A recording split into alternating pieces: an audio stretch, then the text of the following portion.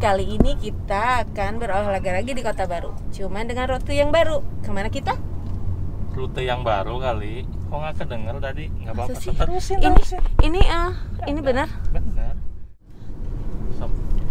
Halo, selamat pagi. Kali ini kita akan olahraga lagi di Kota Baru. Hanya kalau kemarin kan kita rutenya ke Golf. Golf. Sekarang kita cari rute baru di Danau, danau, iya danau betul. Iya bener kan? Nah, Iya. ke mana rutenya? Kita lihat. Peta. Hari ini kita parkir di Ruko Ruko Pitaniaga. Pitaniaga. Ini Ruko Pitaniaga ini Depan RSCK. ya seberang RSCK Rumah Sakit Cahya Kawaluyan. Di sini sebetulnya ada tempat makan langganan kita favorit kita ya. Oh. Jadi kita sudah terbiasa parkir di sini. Ya, untuk eh, apa? Lokasi tempatnya sih patokannya rumah sakit, Rumah Sakit Cahya Kawaluyan. Nih yang tadi kita sebutkan kita biasa makan di situ tuh. Dapur, Dapur Cemara. Cemara. Situ menunya apa ya? Sundaan, Sundaan, ayam, ayam goreng, ayam manis, ayam pedas, ayam cabai Tumi, hijau. ya ayam cabai hijau, tumis-tumis juga ada di sana. Enak deh makan di sana. Sekarang kita kan tujuannya ke danau. Kalau kemarin eh, lurus jalannya ini belok kiri yang dari parkiran kita itu Parkiran mana? parkirannya kemarin yang kita terakhir yang bakar lemak lebaran itu loh vlognya yang di atas ini nih. Eh, itu dekat dari sana tinggal masuk aja. Ikutin jalan itu deh. Ini kemarin kalau kita parkirnya di Bandung Tempo dulu jembatan ini kita lewati pakai mobil ya. Tapi sekarang karena kita parkirnya sebelumnya di yang tadi, Kita maka kita jalan kaki di sini. Nih IKEA-nya.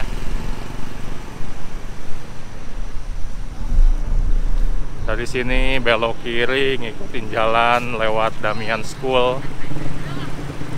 Terus nanti ke Bandung Tempo dulu, masuk lewat apa ya? Kamandaka. Kamandaka.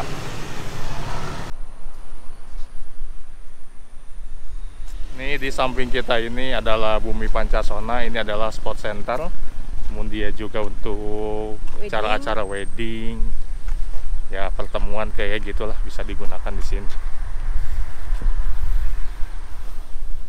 Dari Roko Bandung Tempo dulu kita lurus tadi melewati Pos. pos ya, ada jalan khusus kalau untuk pejalan kaki. Dari sini nanti belok kiri, kiri yang kiri. Itu apa sih? eh, Hmm? apa? Sky apa? Iya, Kayak venue ski ski, air. ski, Nah, ski. Oh, ski air. Itu. nanti buat ada buat ski air, kemudian ada danau yang masyarakat bisa lewat. Kita bisa lewat ke sana naik perahu, Sampan. naik sampan. Kalau sepedahan juga bisa, sepedahan dinaikin ke perahu itu. Bayarnya 5 ribuan per orang. Nyebrang nanti ke Batu Jajar namanya Galanggang lah. Ke Galanggang nanti keluar nanti ujung-ujungnya di Pasar Batu Jajar atau Kopassus.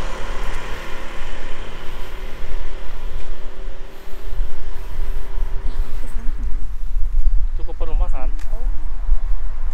Yang larang tapa yang kayak gitu.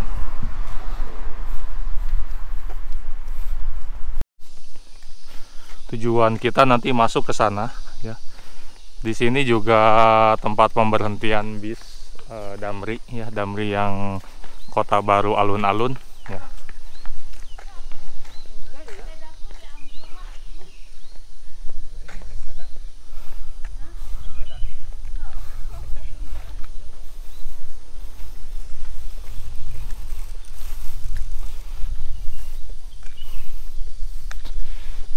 Ini masuk ke sini.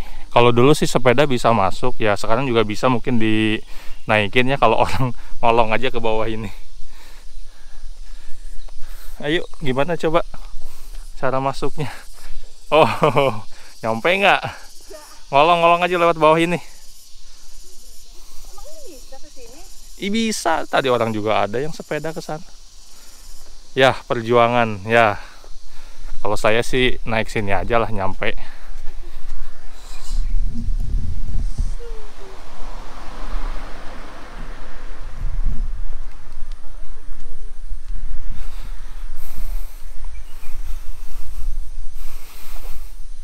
Gini-gini juga ini jalan ke arah venue ski ini ski air. Di sini suka dipakai kalau dulu zaman pon ya, pon juga di sini tempatnya. Waktu pon di Jakarta sama Jawa Barat, skinya di sini salah satunya. Dulu sempat awal-awal ke sini jalannya masih tanah gitu ya, tanah dikasih batu-batu gitulah, koral. Sekarang lumayan udah dikasih paving block. Ada event ini Lah, benerin itu mobil bisa. Oh, berarti dibuka dulu ya. Jalan yang tadi. jalan. Enggak, cuma satu ini jalannya. Mm. Ini di sebelah kanan kita udah kelihatan airnya. Sebetulnya ini bukan danau ya, jadi anak eh, bendungan Saguling ya. Saguling jadi bendungan Saguling, waduk Saguling ya sampai ke pinggir-pinggirnya sampai ke sini airnya. Kalau musim kemarau ini kering. Suka dipakai bercocok. Ya, eh, kalau musim kemarau dipakai ditanam itu.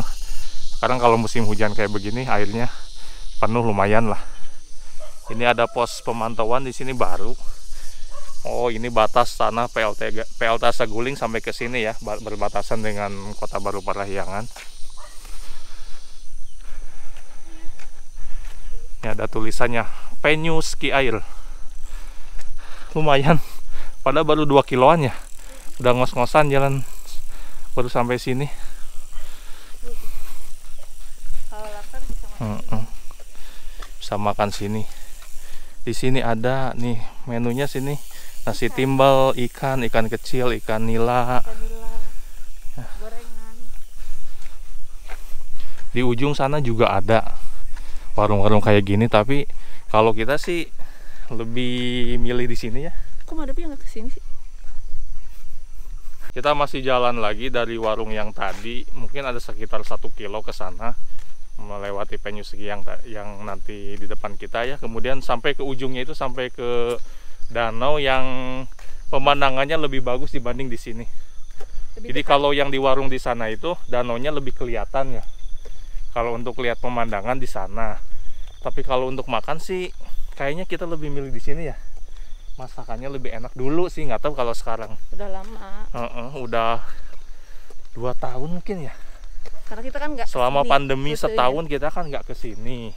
Sebelumnya juga ya mungkin setahun lebih lah.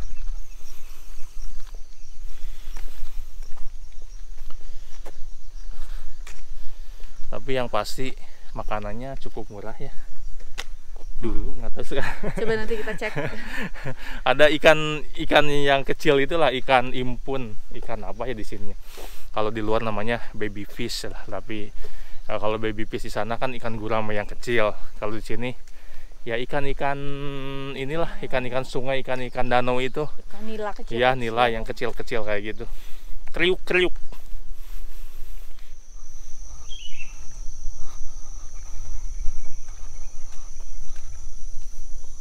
Nah ini yang tadi dari tadi kita bicarakan tempat venue ski itu Pengcab PS Awi Kabupaten Bandung Barat Persatuan Ski Air dan Wakeboard Indonesia. Oh ini berarti tempatnya.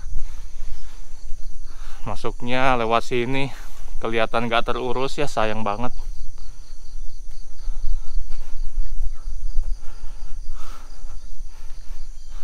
Yuk kita masih jalan lagi sekitar 500 meter lagi.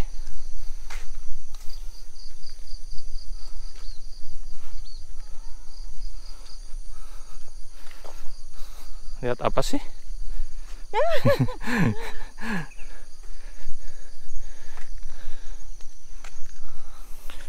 Sekarang kita udah nyampe ke bagian ujung ya. Dulu sebelah kiri ini warung yang ini jualan sekarang udah lama tutup kayaknya ini rumputnya aja. Mungkin selama pandemi jarang orang yang ke sini deh. Sebelah kanan, sebelah kanan kayak yang buat ski juga kayaknya gitu. Ada wall climbing ya. Itu ya warungnya. Ya yang di bawah mah iya dari dulu. Oh ini. Kalau mau naik perahu atau warung nasi abah ke sini ski air ke sini sama tempat parkir. Ke sini apa ke yang tadi? Nggak tahu lah.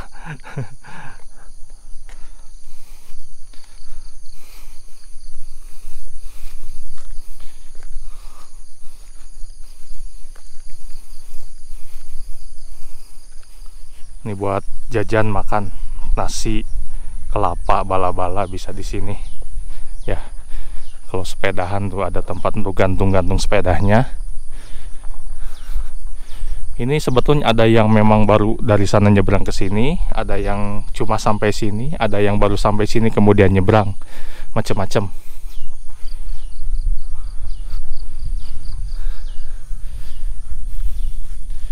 enak kan uh, tempatnya asik deh asik murah meriah bahkan gratis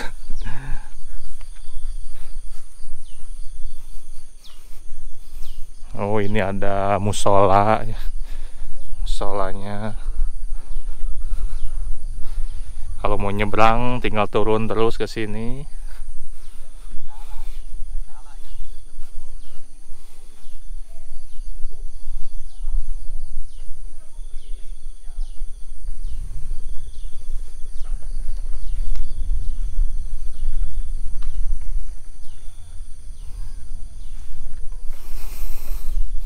harga naik perahu nyebrang 10.000 oh sekarang 10.000 dulu 5.000 ke jembatan 15.000 kayaknya ke jembatan Surapatin deh ke sana. Eh ke jembatan mana ya? Villa Perancis 30.000 kalau jembatan Surapatin itu Villa Perancis dekat ke Maroko 30.000 jalan-jalan tanda tanya maksudnya sesuai dengan kesepakatan. Misalkan mau jalan-jalan sampai ke Saguling ke sana itu bisa nih tempat makannya enak nih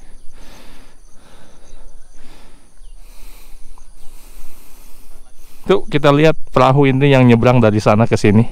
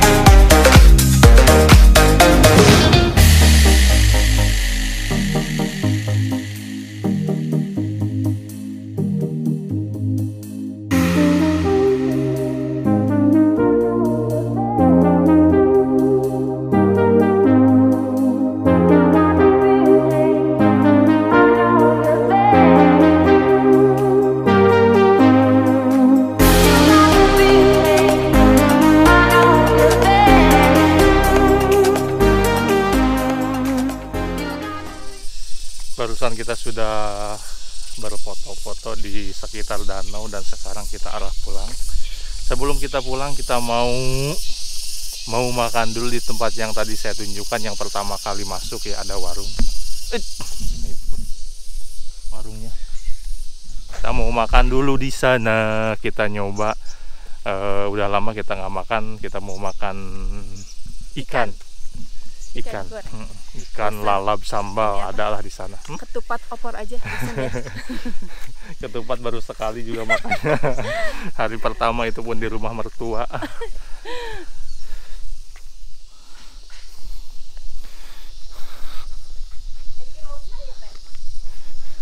Lihat menunya. Nasi ikan kecil. Bala-bala mendoan tahu tempe ayam sama ikan ikan nila goreng dadakan kelapa juga ada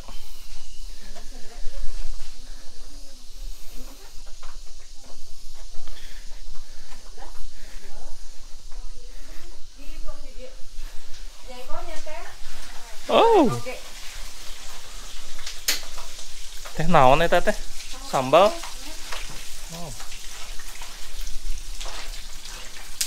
sambal.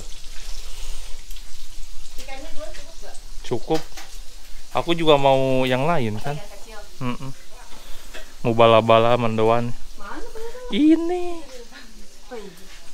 Ambil dulu ben cuci tangan dulu kita. Bala-bala sama tempe mendoan. Ini yang kita pesan nasi kemudian ini ada tempe sama mendoan sama bala-bala kemudian ini ayam eh ayam ikan goreng ikan goreng ikan nila nih gede banget nih ikannya 15.000. Mm-mm, satunya 15.000 ini gede ini. Kemudian ada lalap, ada sambal dan ini nih. Apa ini? Jengkol. Jengkol. Cukup deh ini. Ada ayam sebetulnya tapi kita nggak pesan. Ada ikan kecil juga kayaknya tahu ini juga habis apa enggak nih. Oke, selamat makan.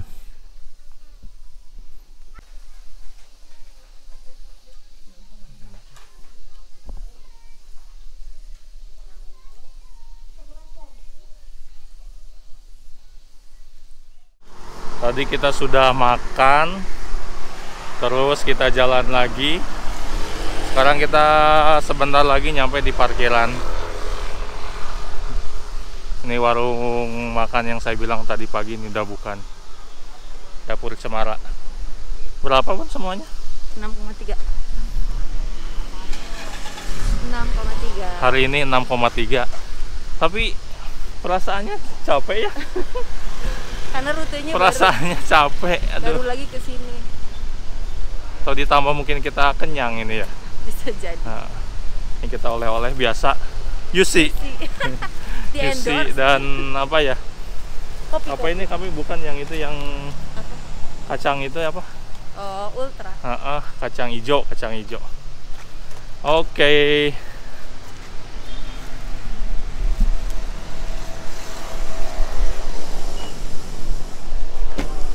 Up. Ya, alhamdulillah udah nyampe. Nyalain dulu.